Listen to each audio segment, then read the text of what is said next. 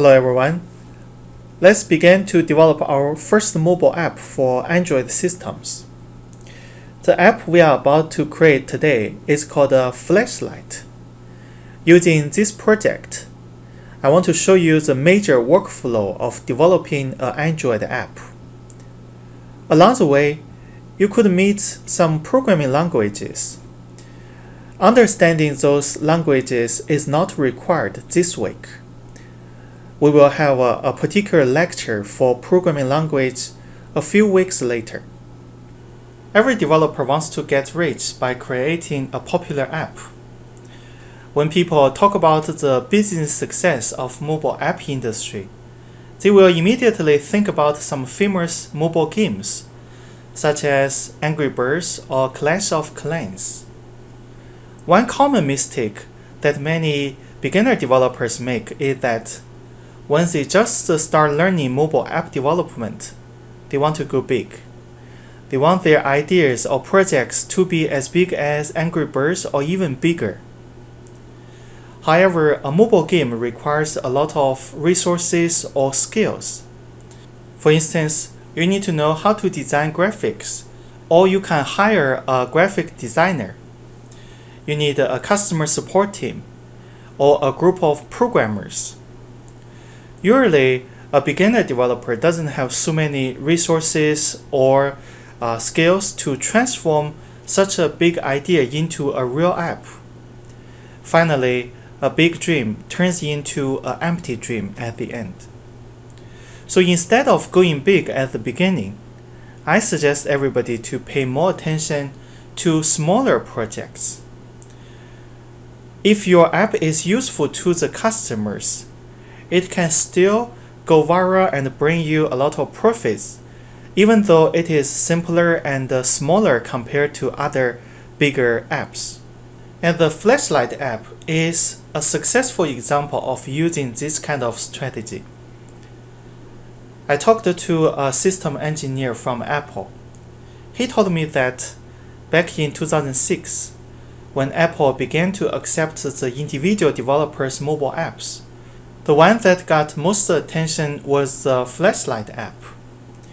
What can this app do for the customers?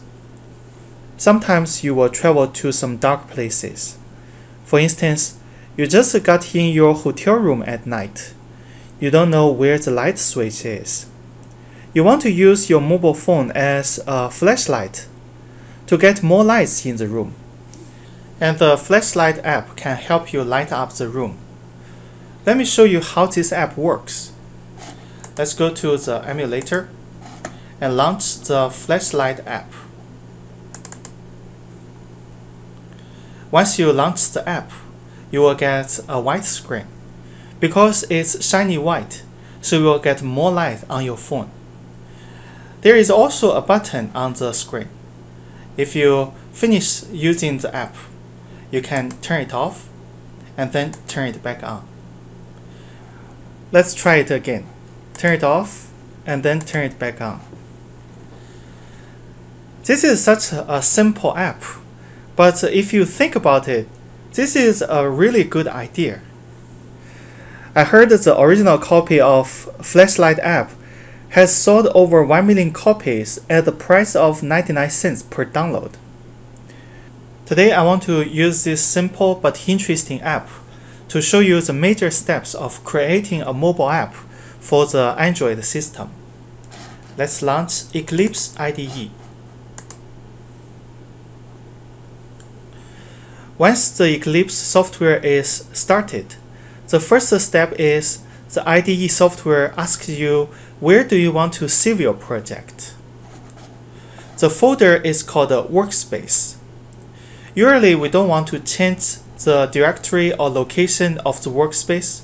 We will keep the original location. And then we click OK to start the IDE software. This is what the IDE software looks like. On the left, you have the Package Explorer panel. It lists all the available projects you have in your folder, in your workspace folder. On the right, you will have the blank workspace. In the future, we will design the user interface and the programming code in this area. In the lower right, you have the performance control dashboard. In the future, you can check the errors of your app in this area. Now let's create a new flashlight app.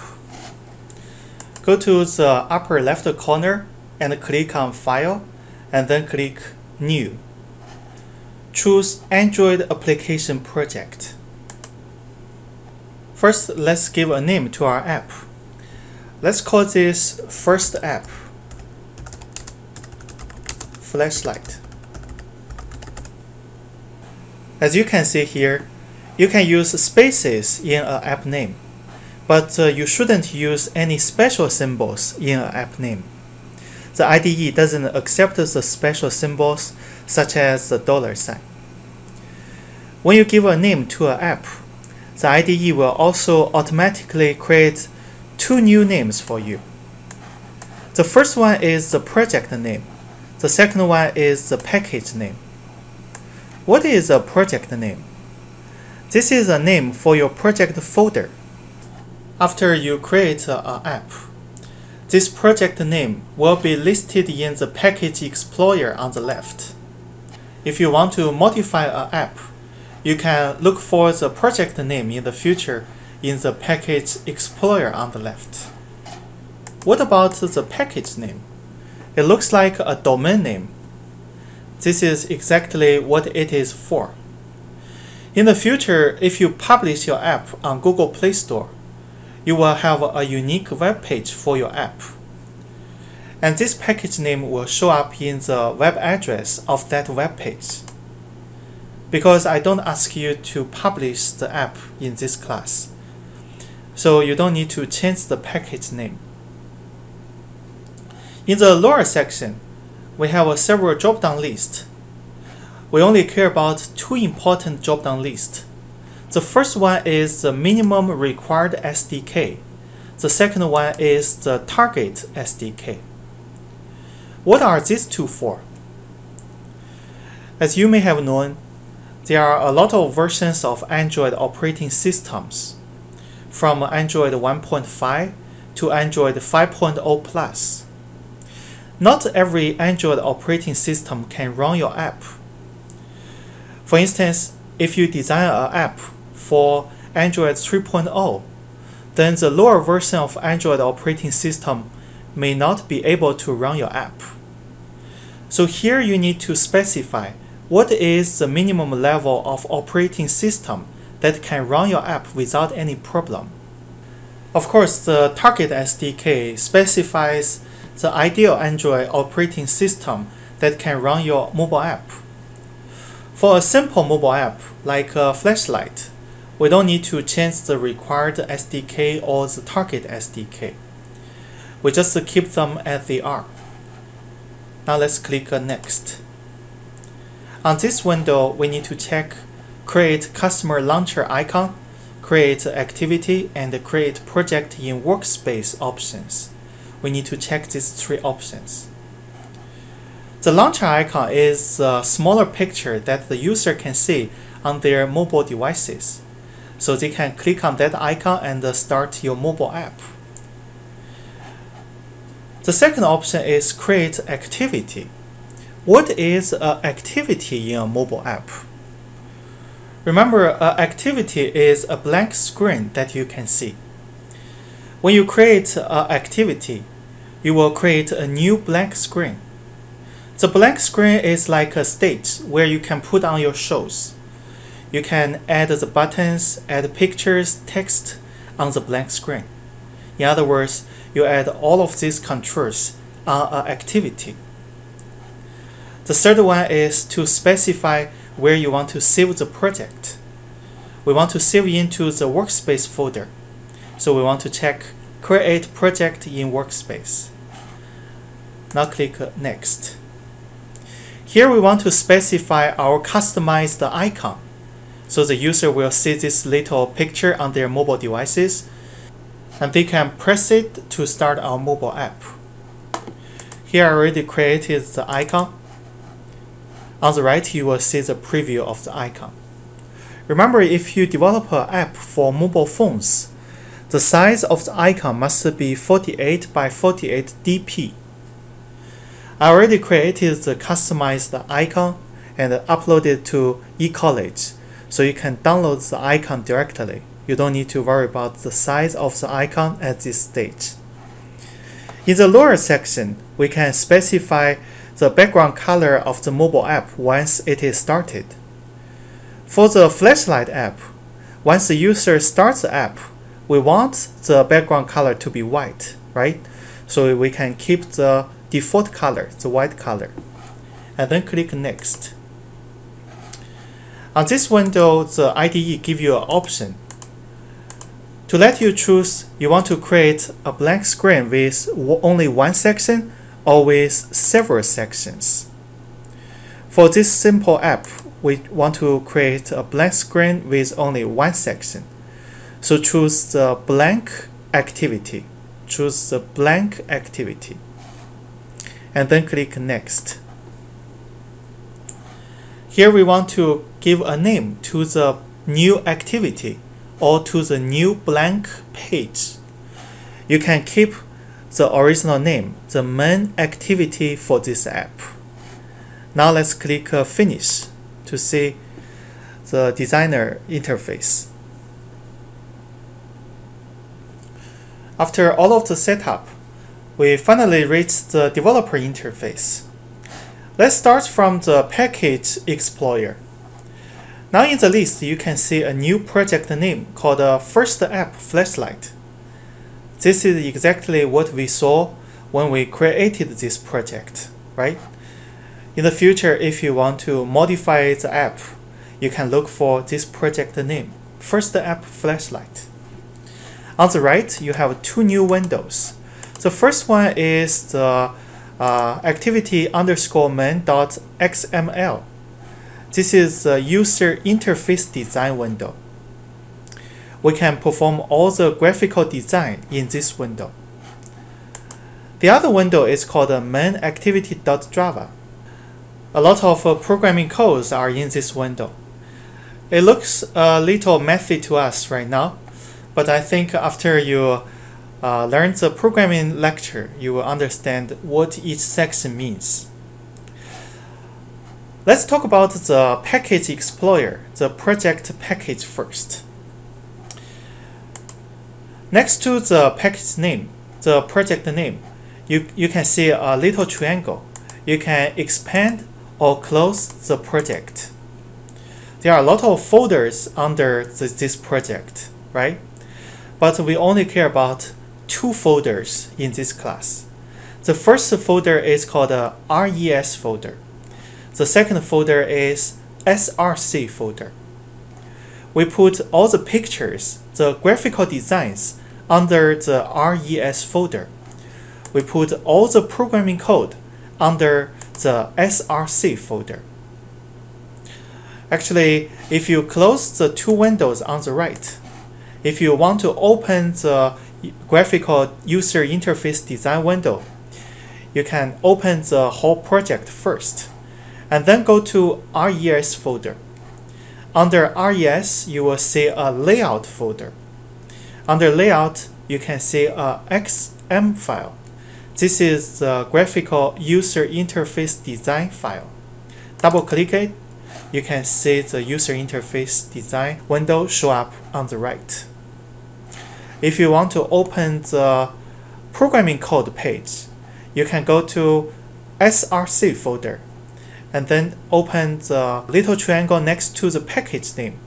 Then you will see the main activity.java. Double click it, you can see the programming code window show up on the right. Now let's design the flashlight app. Let's go to the user interface design window first. You can maximize this little window. By default, the IDE will give you a hello world greeting message we don't need the hello world method, so you can click on this hello world text and then press delete button on your keyboard. It will disappear. On this activity, we do want to add a button on top of the blank screen. Where can we find the buttons? Actually, if you look at the left side of the user interface design window, you will see a palette option. Under palette, you have uh, several buttons. You can also choose some other text boxes. You can also choose the layouts, the pictures, and uh, the time and date pickers, and so on. We call all of these buttons, text boxes, pictures under the palette option controls. Click on the Form Widget control. You will see a toggle button. This is what we want.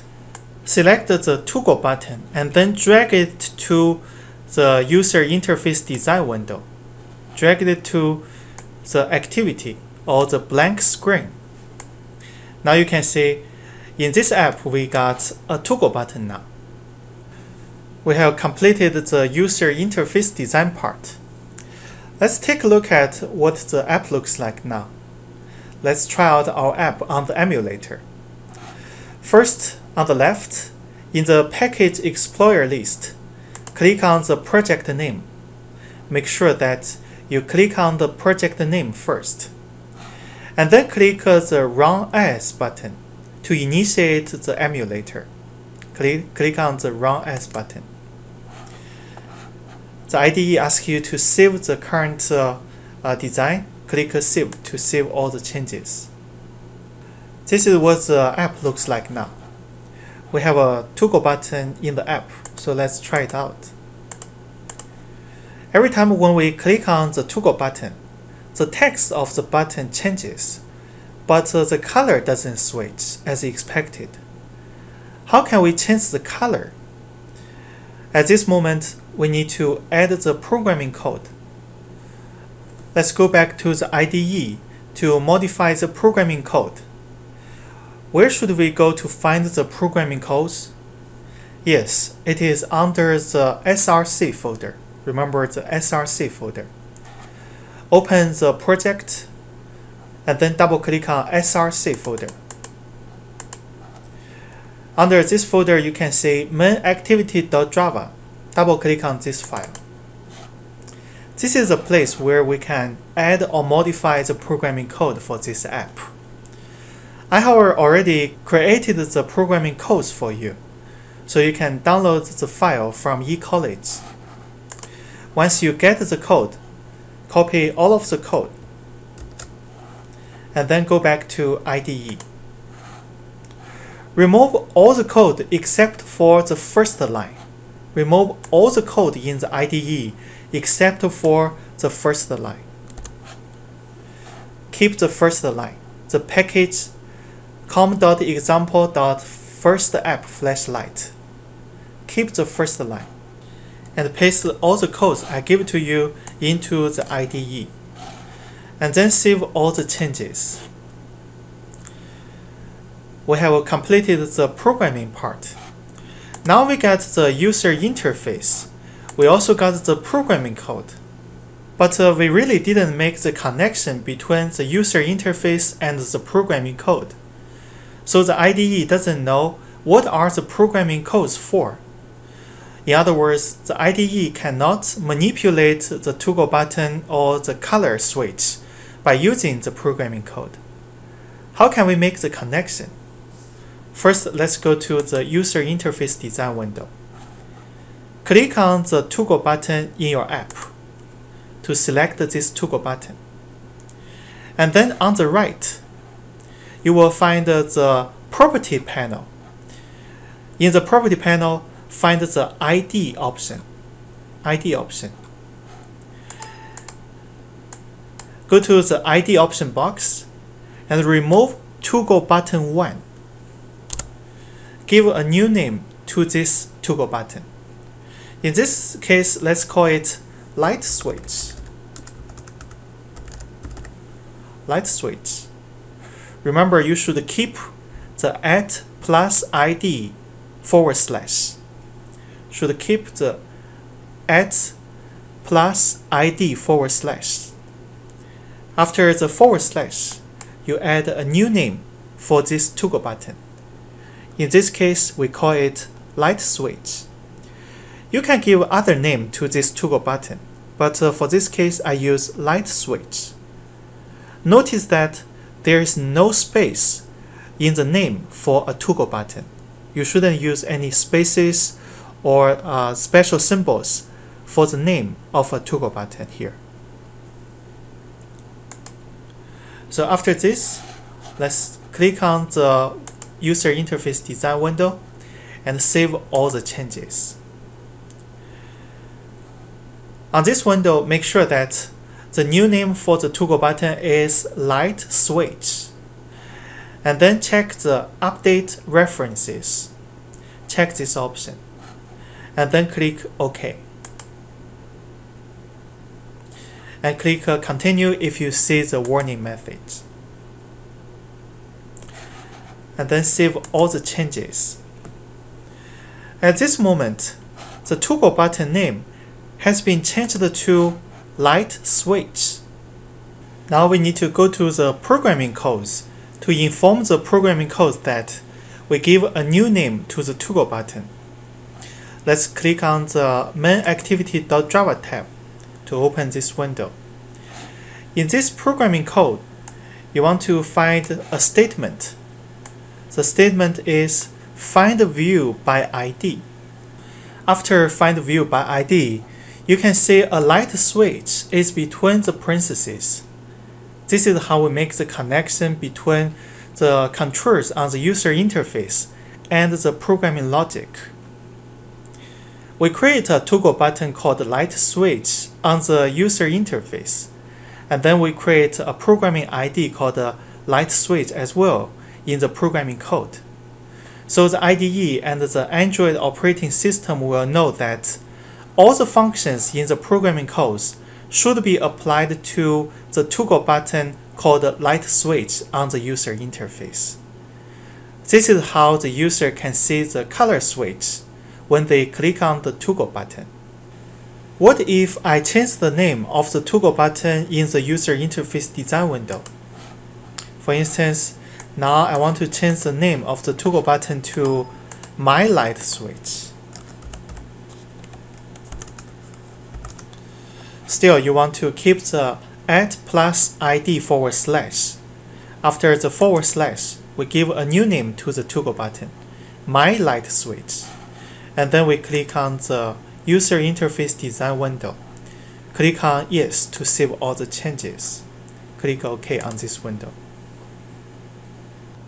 Before this name change, we have created a connection between the toggle button on the user interface window and the programming codes by using the find view by ID statement. So after this name change, if you go back to the programming codes, you can find that light switch is also changed to my light switch. A very important point is all the names for the controls and all the programming codes are case sensitive. In other words, you must use exactly the same letters or cases for both user interface design and the programming codes. Otherwise, you will get an error in your app. For instance, in the programming code, I changed the letter S from uppercase to lowercase. You will see a red line show up under My Light switch. You also will see a red X show up on the left. This indicates this is an error.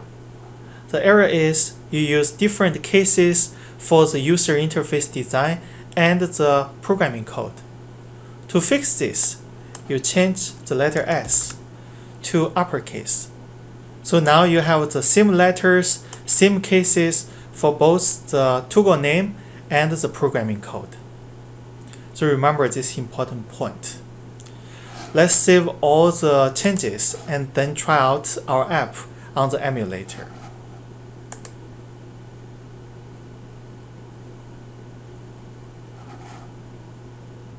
This is what the app looks like now. We have a toggle button in the app.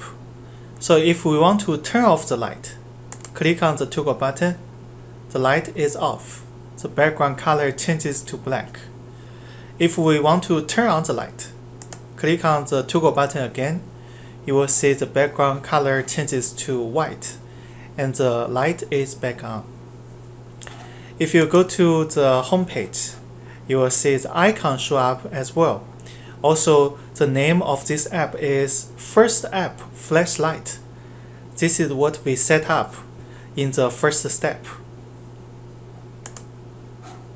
Let's try it again. Turn it off, then turn it on, turn it off, turn it on. We have finished the first app. Android apps have been highly developed in recent years. Obviously, it is impossible for you to get a million dollars by selling the flashlight app nowadays. But uh, this simple app really shows the major workflow of developing an app for an Android system. What are the major steps of developing an Android app? First, we want to design the user interfaces. We want to add the toggle buttons, pictures, text into the blank screens. Where can you find the user interface design windows? They are under the RES folder. The second step is to design the programming codes.